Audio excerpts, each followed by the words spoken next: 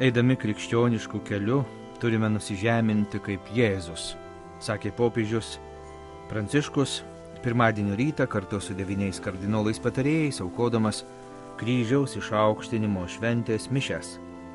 Velnės mus suvedžioja ir pražudo, tik Kristaus kryžius gali jį nugalėti. Guardiamo Gesù sulla croce, ci sono belli, belli dipinti, ma la realtà era un'altra. Era strappato tutto, insanguinato. Kai žiūrime į nukryžiuotą į Jėzų, privalome prieš akis turėti ne gražų paveikslą, nes ir tokių yra, bet kitokią tikrovę, viską praradusi, kraujais pasirūgusi Jėzų. Jis pasirinko tokį kelią tam, kad nugalėtų tą bjaurę gyvatę.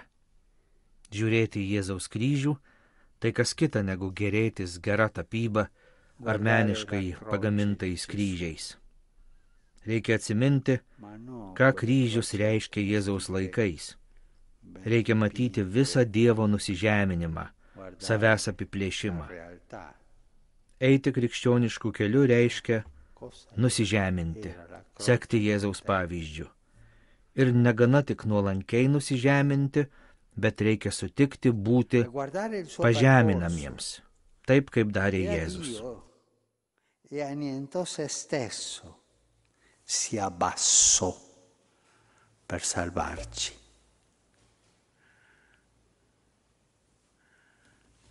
Anche questa è la strada del cristiano. Se un cristiano vuole andare avanti sulla strada della vita cristiana, deve abbassarsi, come si è abbassato Gesù.